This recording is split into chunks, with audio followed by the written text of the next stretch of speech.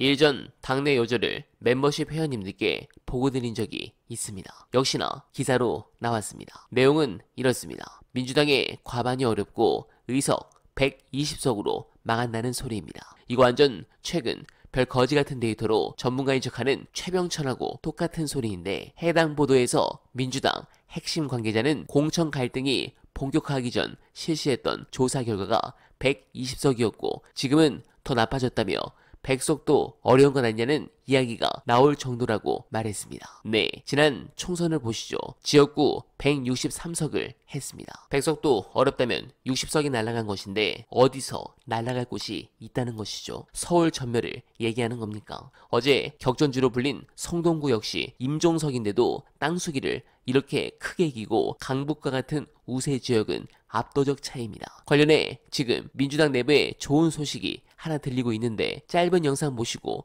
이어가 보겠습니다. 4년 전 이맘때에도 민주당이 앞서다가 훅 꺼지고 국민의힘이 뒤지다가 훅 이겼었어. 그러다가 다시 뒤집어진 거야. 이맘때는 늘 그래요. 명절 끝나고 국민의힘 적합도 돌리고 이때는 항상 이런다고. 그래서 제가 오름인가요? 어젠가요? 말씀드렸습니다. 대표가 지금 혼자서 모든 욕을 끌어먹으면서 지금 개혁 공천을 하고 있어요. 이재명 칭찬하는 사람이 어디 있습니까? 언론이고 뭐 민주당의 원로들이고 뭐 현역들이고 전부 다 이재명 욕하고 있잖아요. 그런데 그걸 모두 떠안고 개혁 공천 하- 하지 않습니까? 지금까지 답답했던 그 모습을 공천 때 싹 다 보여주는 거 아니에요? 그러고 있으면 우리도 좀 호응해줘야 된다. 그래서 최소한 여론조사 좀 귀찮더라도 응답 좀 해주자. 지금 보수가 훨씬 많이 응답하니까 우리가 좀 응답을 해주자.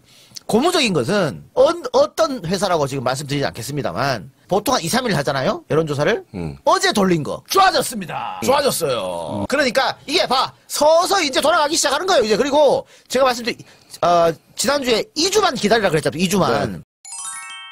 네, 이런 부분은 전혀 걱정하지 마시고 이렇게 지지율이 반등할 수밖에 없는 이유는 공천 덕분입니다. 저들이 이런다고 당원들이 불쌍하게 생각을 할까요? 자신들은 당원 동지들을 배신하고 저 무도한 윤석열 정권의 당대표를 팔아먹었으면서 지들이 이렇게 당원들에 의해 심판받을 것을 예상하지 못했습니까? 그것도 무능한 것이라고 봐야겠죠. 아니면 당원들을 완전히 개무시했으니 아직도 저러는 거죠. 그러니 버리는 겁니다. 아니, 어느 정당 지지자들이 어느 정당 당지자들이 어느 정당 국회의원들이 자기 당대표가 1년 8개월을 넘게 정치 검찰에 의해 탈탈 털리는 걸 지켜봤는데 그걸 구속시키자고 동의한 자들을 상식적으로 이걸 어떻게 용서합니까? 저는 지금 유튜브 하면서 몇 년 만에 정치 효능감 제대로 느낍니다. 와, 내가 지지한 이재명이라는 남자가 이런 사람이구나. 이 정도 어른이라면 이분이 정권을 잡았을 때 임기 1년 차에 어떤 일을 하실지 저는 두근두근합니다. 관련해서 이재명 대표의 혁신 공천이 당원들 사이에서 절대적 지지를 받는 이유 이들은 공통점이 있기 때문입니다. 관련 영상 안내드리며 이만 인사드리겠습니다.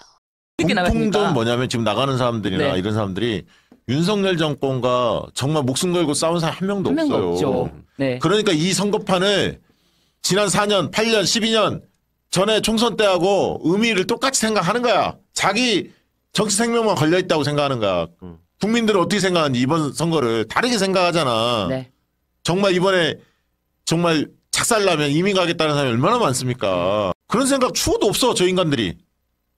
무슨 이재명이 당을 다 말아먹으려고 한다 이런 식으로 얘기를 하면서 나가버리면 그게 조- 누가 좋아하는 갈 건지 선거 구도가 어떻게 지금 흔들리고 이게 불이익이 될, 될지 뻔히 아실 만한 분들이 저렇게 하시면 진짜 안 되는